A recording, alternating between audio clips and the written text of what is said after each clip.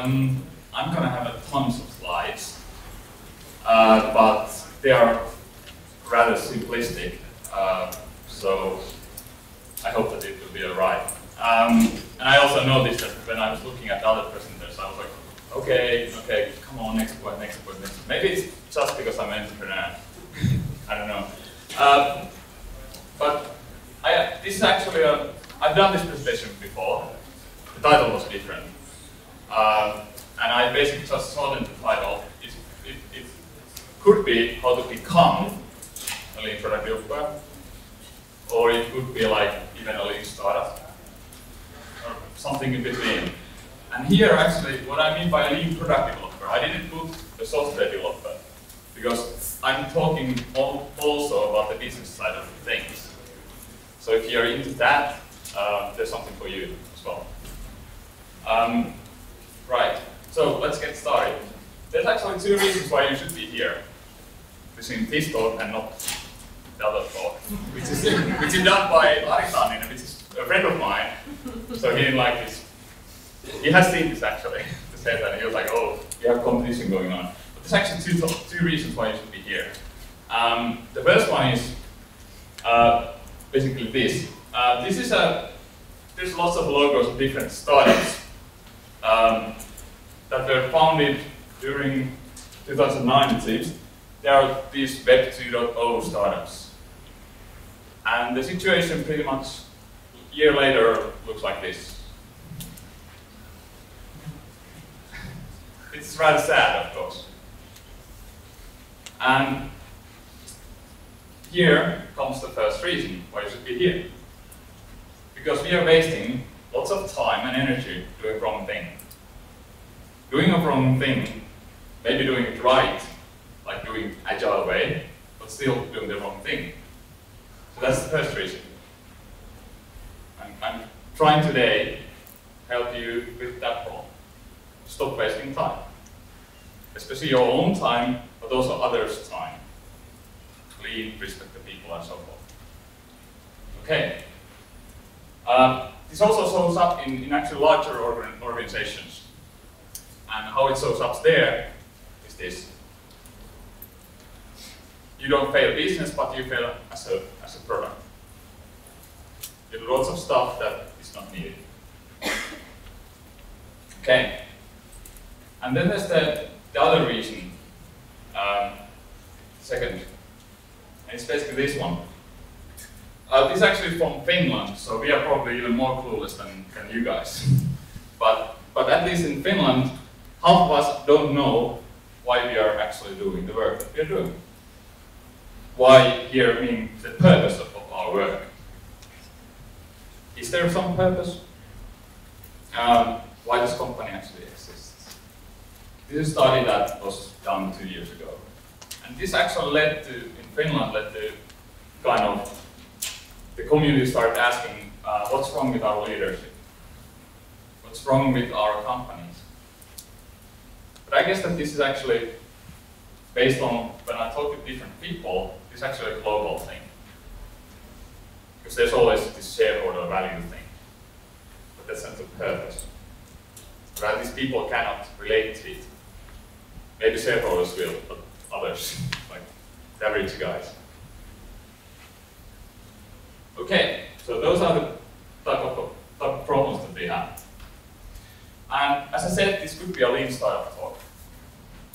But I'm not going to go through all the different practices that, or practices and, and methods inside lean startup. But my point is that this, the whole cycle here is basically you have some ideas and you build something based on those ideas. And then you measure uh, measure what you have built and then you learn from it.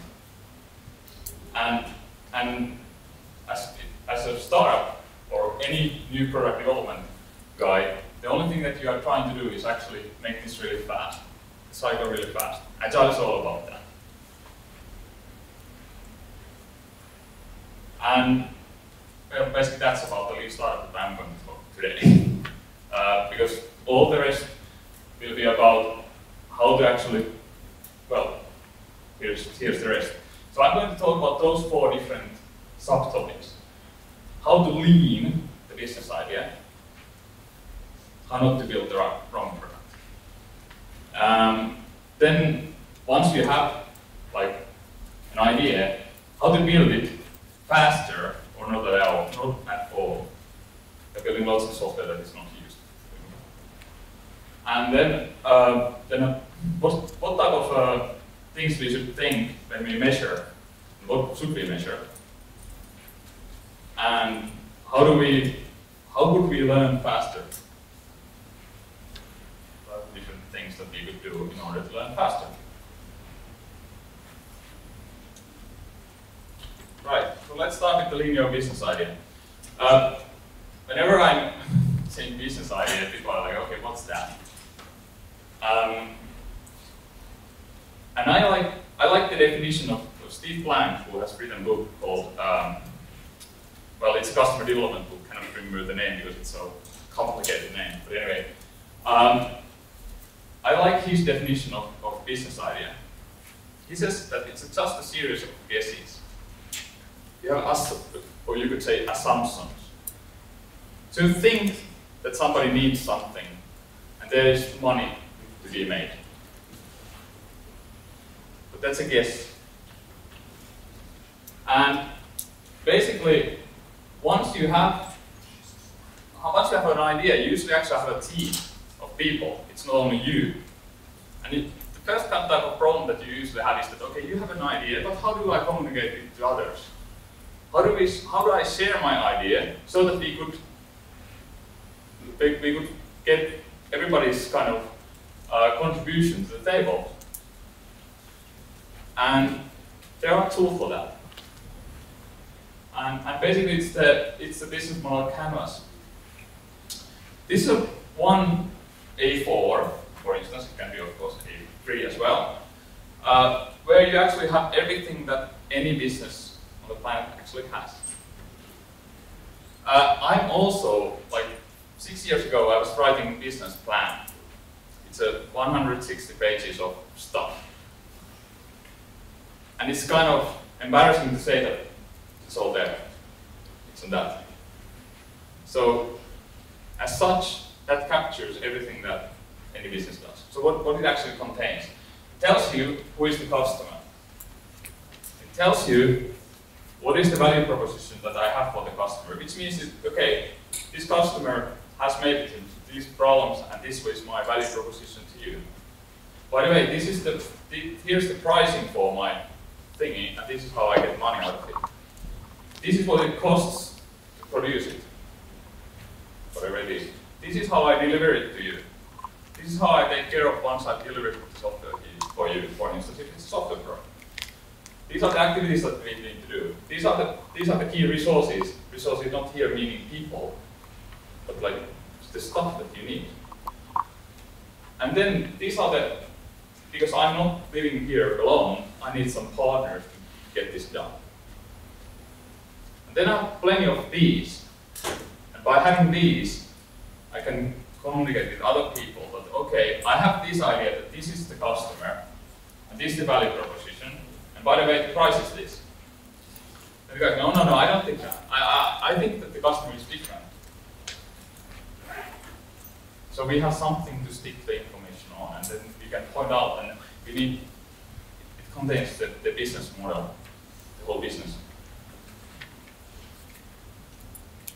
So where's the guess? So I said that the business idea is a guess. There's everything is very concrete. It sounds very concrete. The guess is everywhere. All of these things that you put on that are guesses. Because you don't, you don't yet know. You think that this is the customer. You think that your value proposition is something that he would like to buy pay for.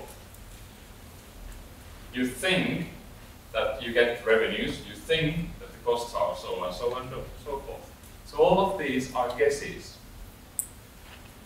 Now, then comes the question, how do I validate these guesses? And this is what most of the companies don't do. Because once they have this guessing paper or done, they start with one specification, then we do the software. Then we, then we do one big launch, and then we die. Or we get the software who, who nobody uses, and then we start putting more features. Maybe something will, you know, something will stick. They will use some bits of it. But then we listen to the customer and take all the feedback in, and then we build all these different things into the same software. And hope that it is, it is a business. So, yeah. So how do we actually validate these guesses? There's a process for that as well. And this is the customer development part. There's at least three different books already about this. All these different phases. And, and I'm not going to through, go through all these different things here. I'm just going to say that basically start with, with, with validating that, okay, if you have a customer in your business model canvas, now you go and actually maybe call the customer or maybe ask, could I visit you? I think I have something for you. To validate that this customer actually exists. And he actually is caring about the solution. And it actually fits the problem that he might actually have. And so forth. And once you have like problem solution team, then you start figuring out, okay, do we actually have a product? Because sometimes there's no product. There's no need for a product. Maybe it's just a process change. Uh, and once you have like the validation discovery, the difference is basically validation says that, okay, this customer is actually willing to pay. Steve Blank likes to say, we invented this, that customer validate, customer is validated when you have an order. It's not validated before. And then comes the execution part, so to speak. And customer creation, company building, you could, you could if you're in larger organization, it just means that uh, you start scaling and, and, looking for other customers in the same segments to see that there's actually, and scaling up uh, also the sales and marketing as such. And company building, if you start up, yeah, you start scaling the company, building company around around this working business model or kind of validated business model. But of course, if you're a large organization, maybe it's just a new product line. Fine. The whole point of this customer development, the whole point of customer development is actually that uh, you need to get out of the building because now you have these guesses. And and there are no truths inside your building because they were guesses from your people. So you actually need to get out, get out and actually validate all these things. And some people do with the, with this, they actually do a few different layers. They do a business model. Okay, these are the kind of things that we think. But they also do, do the same canvas, but they put different data in they put hypotheses. Okay, so I think that this is the customer, and then this is a test that I will do in order to actually validate that the customer exists. And yeah, then you get out of the building and see if that's true. And it's painful because most of the time you're wrong. Okay, how does this actually fit to the agile uh, and, and product development, software as such. There's a, if you have a customer development here up, you actually have your product or software development as such here down. And it's a collaboration between two, two processes. You need both. Um, because I guess most of us have been in situation where you're like product owner and you, you are just like, okay, you don't know what the guy actually does you think, you hope that he does the validation. Uh, the product development as such, what, what, what, it, what it actually brings into the table, of course it brings to the actual product, doing the product. It also brings data, measurements. Is the product used? Because if the customer says that, yeah, I really like to use it, but it's really used. And basically you have a structure, this type of structure. You have like a problem team which tries to figure out what is the problem that needs to be solved. And then you have a solution team which tries to solve the problem. And there's an overlap between the teams. And there's a reason for that. Because usually you actually need more than single product owner, at least based on my experience. Because there's other information. It's just like, for instance, usability. Um, um, all the te technical stuff. You need some guy who actually understands pretty well the problem domain as well, along the solution. And therefore, you would actually like have several people in both teams. So you have like uh, uh, people who are also in problem team, but all, most, maybe most of the time in solution team and vice versa. Yeah. So yeah, lean business idea, leading a business idea is basically just understanding the business idea is just series of guesses. And yeah, luckily there's the customer development process as such already kind of in place that you can use to actually figure out if the product is any good. So if the business is any good. Yeah, because I stand standing here. Maybe I should put there. No problem. And then there's the business model canvas, uh, which is just like nice tool for laying out the actual business uh, business model. And by all means, make many of them in order to actually ar argue that is this better or is that better or should we do that or that. Okay, so that's about the business side of things because now rest is pretty much about tech stuff. Um, building faster or not at all. In order to actually understand or actually to discuss about this topic, I thought that I need to actually somehow explain the concept of inventory. Familiar with methods like Kanban and stuff, you have already thought about this. But if you have a, such a workflow that you have some business case, uh, then you do some design, then you develop stuff, then you test it, and then you deploy. This is like rather waterfallish uh, um, process or workflow. The inventory, what I mean by inventory, is the stuff in between. Uh, so you have business cases, for, for example, which are yet to be designed.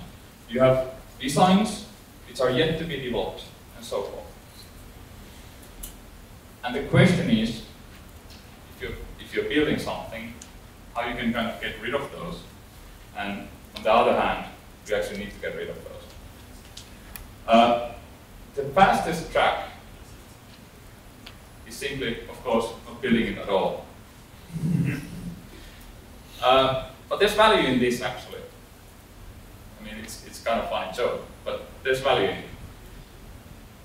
In most of the situations, when you think of building something, you should ask yourself, can we actually validate this without building it? Um, for instance, we had a feature in our software where we were thinking that it would be very nice if people could say that, okay, the software context is internet, you can do uh, advertisements of your services. Um, we were thinking that it could be valuable that, um, that anybody who puts an ad there could like say that, yeah, this is really me, meaning that, that the person who is hitting the keys on the keyboard and making the ad is actually the guy so that, you know, it's not somebody who wants to harm your business.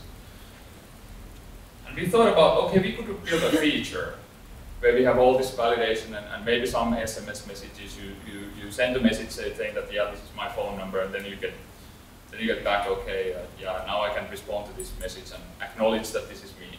Now building this would be kind of a hassle. Maybe it would take a few weeks. But we thought about this.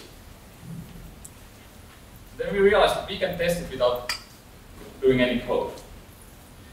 We basically just put on, on, on the site to note that, yeah, call this number if you want to be validated. And we, then we just waited if anybody called. Nobody called.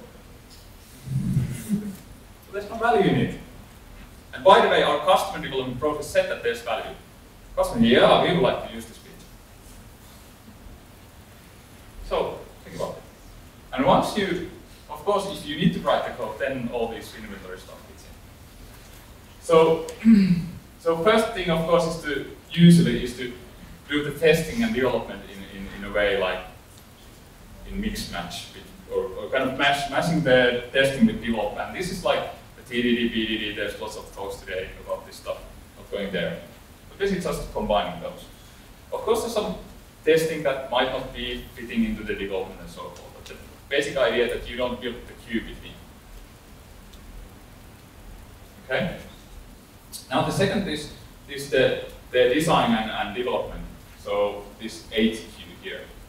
I'm just taking the architecture point. I could take the usability point, which is even harder. but in architecture, basically, it just means that what if we don't try to design up upfront the whole architecture? What if we have a vision maybe that this is this is very likely to, to be the architecture, but we we do the realization bit by bit. Just do small increments of the actual architecture. We, we, but we still keep the vision in mind because we don't want the architecture kind of rotten in the way. And or at least have some kind of uh, common shared picture of it, what it will be. And whenever you build new stuff like this red thing here, it just means that you expand the realization closer to the vision. But you, your vision, of course, might be wrong. It's okay. Can change. And it, I call this just-in-time architecture, but it's good for you. It's just like, say, incremental design. Doesn't really matter.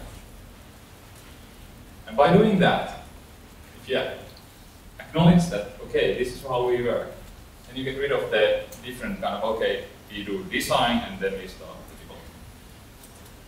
The UX part is much harder, but I won't, because it, it is kind of a topic that I could talk this one hour. I'm going to go there. Okay, then there's the business, uh, sorry, there's the design development test. Now you have like combined them into and you have cut it down the inventory one from 25 to 7 total of those. Um, then of course comes the question, how could we do something with this five? And yeah, there's continuous integration and then continuous deployment.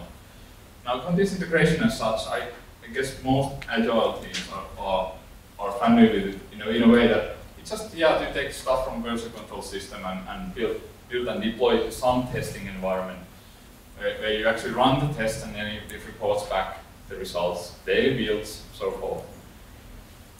Uh, but continuous deployment takes this a bit further. Uh, it, it, basically puts it in production. There, in Finland, there's at least three companies actually doing. Um, and, and some of those are actually rather, rather big in, in Finnish kind of landscape. Like Elisa is doing this with the, their corporate selling web store. They are, they are putting it in production several times a day. But anyway, and of course there's lots of uh, like international companies who do it, like Flickr and Facebook. Uh, now, now how they actually do it or whatever the process as such is, the basic idea is that you take a backup from the production somehow somewhere, then you deploy your solution to production, and then you have really good monitoring and alerting. Because if something goes wrong, you need to roll back really fast. Usually of course, have the automated rollback as well. Uh, that could be one more topic for one hour, just talk about continuous deployment. I've done that as well. But I'm not going to go there. But that I want to take from business perspective, there's two things to consider when, when you think about continuous deployment. One is that what is the coordination cost? So how many, how much you need people in order to actually achieve it? And maybe it's not worth it. Uh, maybe your coordination cost rate is so high that it, continuous deployment is not for you. Or maybe your continuous deployment, the cycle of continuous deployment is not like 500 times a day. Maybe it's, maybe it's like once a day, or maybe it's, then we go like, is it continuous or not, but maybe once a week.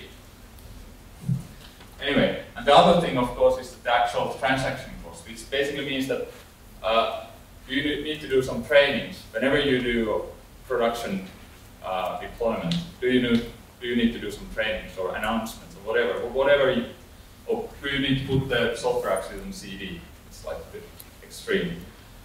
Um, now the thing is that still you, you can do maybe continuous deployment, but maybe your, your re release and deployment means different thing. you put the stuff already there, but maybe it's not visible, uh, maybe it's not usable, maybe it's maybe there's no market message, maybe the market message comes like week after. So there's things to consider. But anyway, so now we have the design deployment, uh, testing and continuous deployment in one. And then there's this inventory of two still left. And I'm not going to cut carry away. I'm just going to put the business case in there. And, and basically the idea is that, okay, be aware of these. How many stuff, how many things you have in, in progress in order to actually be fast. Yeah, and there's lots of other things that you need to kind of think through. How about user experience as such? How do you build it? How, how do you take it into the picture? Uh, what about if your business model changes constantly? Do you want to really like put it in the queue already? Um, and some, some inventories uh, are actually needed. For instance, if you would cut this down to, to one, uh, of course there's a chance that the, the design development continuous stuff, it will, it will either get it done and then wait for next, or um, if you put too many things, or if you just be very strict that, okay, we have just one thing in progress, what if it jams? What, what if it state that, okay, we need to wait for that business decision. Okay, but let, let's not do anything. It's just stupid. So some inventories are needed, but they're actually buff buffers rather than, than queues or inventories. Okay. There's an example value stream or workflow. It's actually hours and, and the measurements that we've done how long it actually takes. And here we actually have, in development we also do the testing, but we also have separate testing. This testing is actually uh, like testing few um, performance and security related things, which are not, which are like concerning the whole thing, not only the stuff that we are currently developing. And it's also regression testing, and then there's the deployment. And then there's some measurements, how much time it does for us to take the stuff from that somebody says that okay now this is the these, these are the business requirements as such, how long it takes to get the deployed, and it's it's from for us it's from ready to done six days. For total, like coming from the idea that okay this is the business case, these are the features. Once we have the feature, it's eight days um, production. Then we have size the, the work in progress for us is two, which means that usually it's like two features in six days. It's like that, or eight days, depending, depending what we want. I don't want to go that. There's block entry if you're really interested. How do we do all these? What, what are these different stages and what are these queues that we have here and so forth? I'm going to go through that here now. Just an example. And in summary, um, basically think timing, uh, and usually just think big but implement really small. Uh, as I showed or told you about the case that we just went from the business case to validation or kind of deployment without actually writing any code. Um, and be aware of the inventories or queues in your, in your system, in your, in your process. And there's that, if you are interested about that, there's tons of Kanban books and, I, and so forth. And, and in this conference, there's lots of speakers who have experience in that, so I'm gonna hang with those guys. Yep. Okay, so that was to build faster. Now measure it and learn faster. So measuring it. First thing, I think, whenever you talk about measurement, people are always asking, okay, what we should measure? What's the thing that we, we should like, pay attention to? And I think that's, that's exactly where you should start from. You just ask yourself, as a business, uh, what we need to measure. And I think these are like quite good questions to be asked when you are thinking about measurements. How do you know when you're done? Um, how do you know that something is more valuable than something else? How do you know how are you doing? And how do you choose between two or more things or solutions? So in some measurements, most likely. And so, of course, this is useful data as such. If you know that we are doing lots of features that nobody uses, maybe you need to do something about that. Maybe you would like to measure the usage. And here's how we actually do it. Um, so this is a, a, card in our board in a way. I'm just modeled here. There's a feature, comments for service offers and requests. You don't actually need to mind about what that feature is, but as such, there's even a kind of a UI layout of, thing. Okay, this is how the UI would look like. And we actually, while we are thinking about this feature, we also think how do we measure it already. How do we measure the usage of, usage of it in order to drop it if it's not used? Um, so there's like messages per day. So we are looking for how many comments we actually get per day. And, and then we start seeing if, if, it, if it actually has any usage, usage and, and if it has enough usage. Um, and what's kind of funny, this feature is not anymore in our software. so it tells you that it wasn't really needed. Um, of course, it's always like balance uh, of maintenance cost and the actual, the actual value. So it's not that, okay, this is not that simplistic actually uh, go through which features we should have and what we shouldn't have. And some features might be valuable just having like a marketable value, okay, yeah, this power factor. And there are these things. But, anyway, and this actually comes down to the levels of monitoring. So what I found, found out, there's like real tools that we use, but anyway, the thing is that most of the software are, are just monitoring till application level. They're usually looking at, okay, the hardware is up and running, the OS and services are there, um, containers, I mean application containers, databases, yeah, they are there, they're living, they are used, and, and the resource allocation units and so on and so good. And then there's the application. And usually, usually what people kind of monitor are alerts, errors, um, and such. But the top layer is just business reporting, business monitoring. And this gets interesting because there's your, your graphs about the usage and stuff. And we, we keep those, basically, um, we look at those every, every 24 hours. So it's not real time. I guess it could be, uh, but it would require some investing of the hardware actually in order to, to, to be really real time.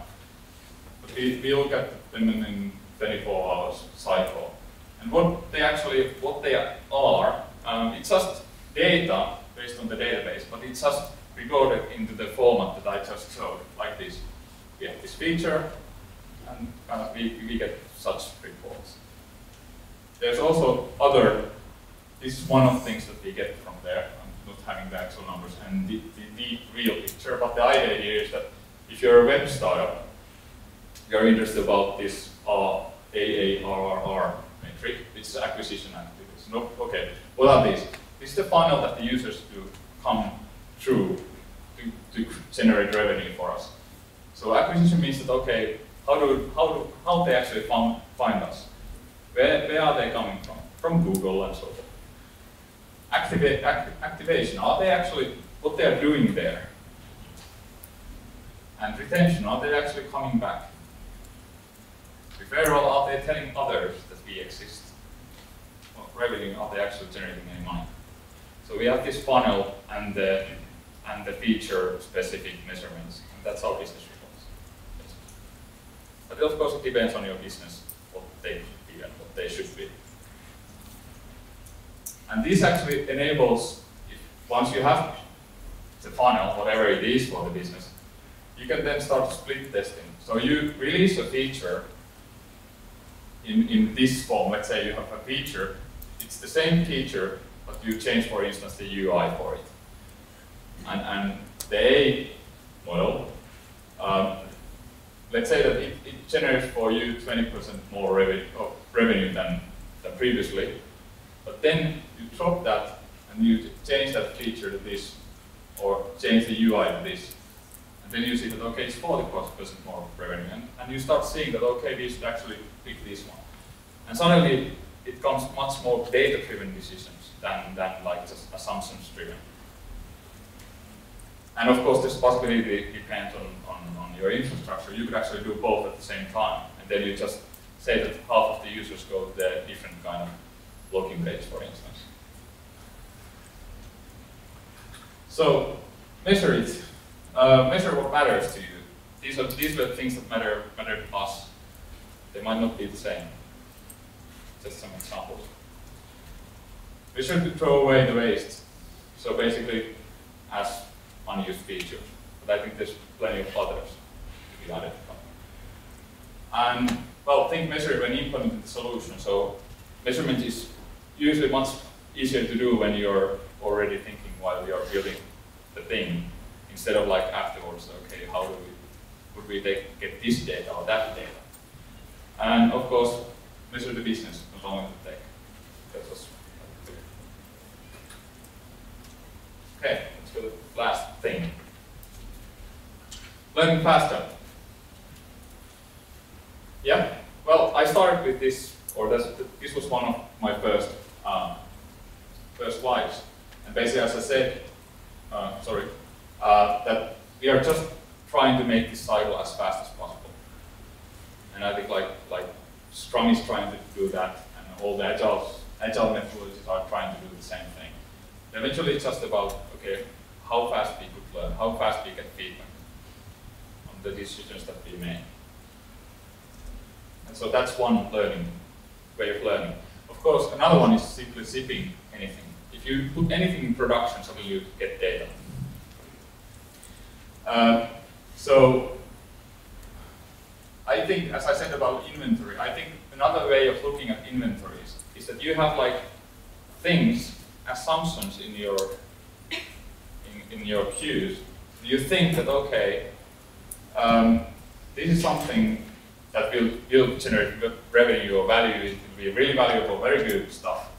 But it's assumption as long as you haven't seen it. Yeah. Uh, we also talked about this previously, like in the customer development, getting out building. Just just going out there and, and asking the hard questions and seeing if, if you're actually generating any value. Or if there's any demand for for the stuff that you actually do. Um, and then of course this, that if you if you put different things out, I mean the thing, same thing that you're doing in different forms, you get always data. You you learn, you generate data that you can where you can learn from. And, and suddenly you get rid of this debating. Uh, this can be also a really manual thing. I, I was actually helping one bigger organization. They had two different UIs for the whole thing for the whole software.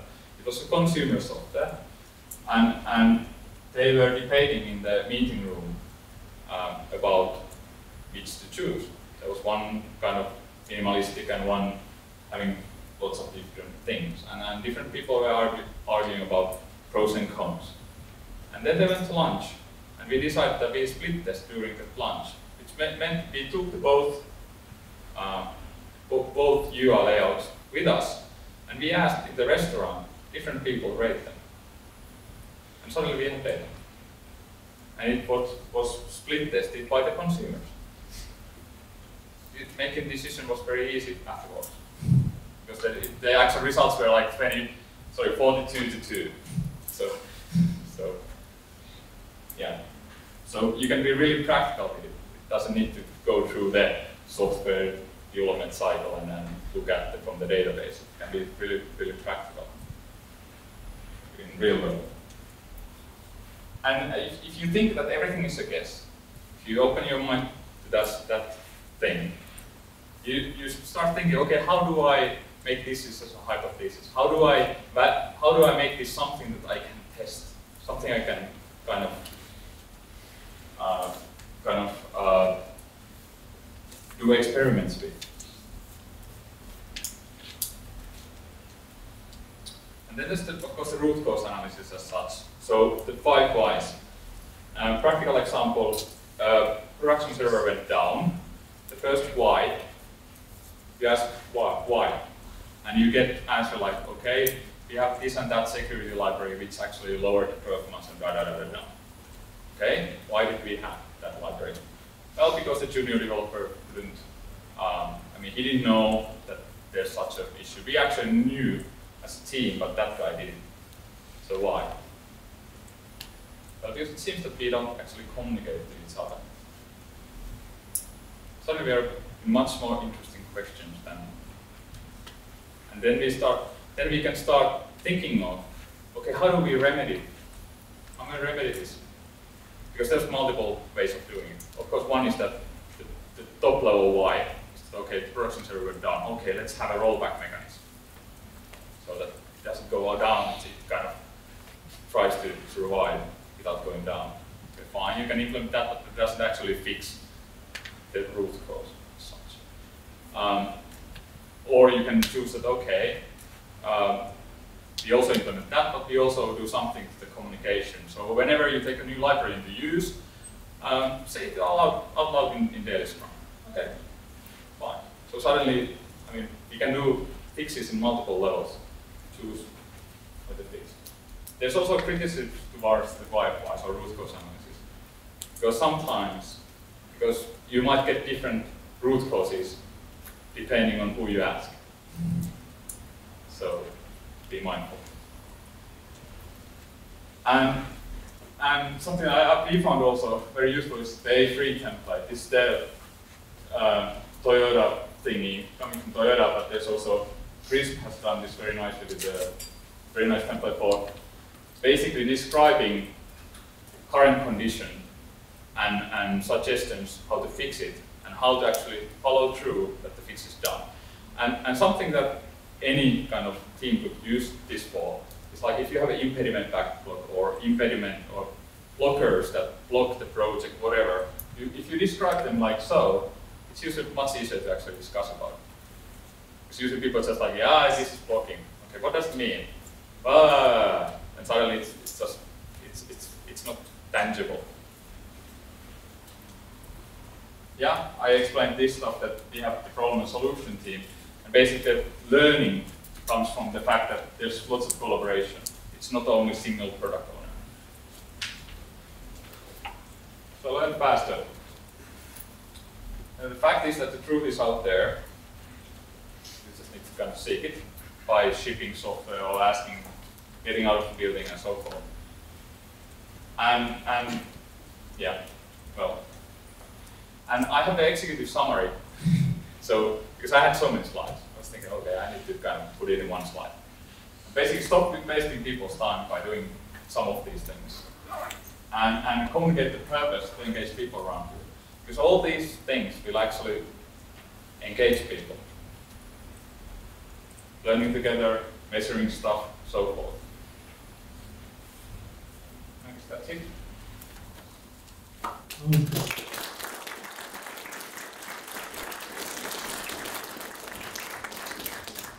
Now it is time for questions. Do you have any? Okay. Uh, I'm sorry I missed the first 15 minutes of your talk, so maybe you covered this question. Uh, but uh, how do we apply this model in the case where uh, we are not speaking about an online service, but rather a product that is being shipped to the customer when the customer uh, sort of need?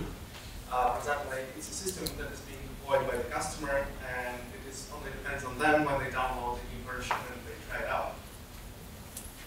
Well, you just said that it's a down, downloadable thing. Um, you can of course do things with the, I don't know, if, you, do you have a chance to actually, uh, to meet the customer? Uh, yeah, generally yes.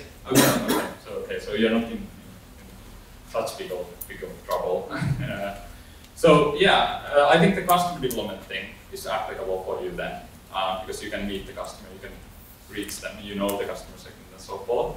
Uh, so that's applicable. But then if you go to the continuous deployment part, yeah, obviously it's not continuous deployment because it's actually up to your customer.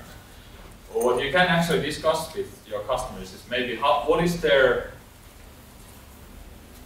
how comfortable they would be with this and this type of a deployment cycle. Let's say that if you currently have like six months How about if it's four months? How about if it's two months? And if they see value value in it, they usually see it because it just means that they get stuff faster. But they might have like other reasons why they wouldn't see that valuable. But if they see value that in that, of course, you have a um, you have a good reason to actually get them faster because then you get faster feedback. So it's it's about negotiating with the customer how how comfortable they are with, uh, with taking stuff earlier in order and, and then explaining that this is actually good for both of us. First of all, then you get the value, time to market, you get the product faster, you get the actual value probably faster. And by the way, we learn faster from the business, which means that we make better solutions for you. So I think there's a win-win actually. No, we can definitely reduce uh, Yeah. Time there. I think that's a good idea. But uh, also another question is uh, how do we, well, for example, these samples that you provided uh, of uh, learning something without actually developing it.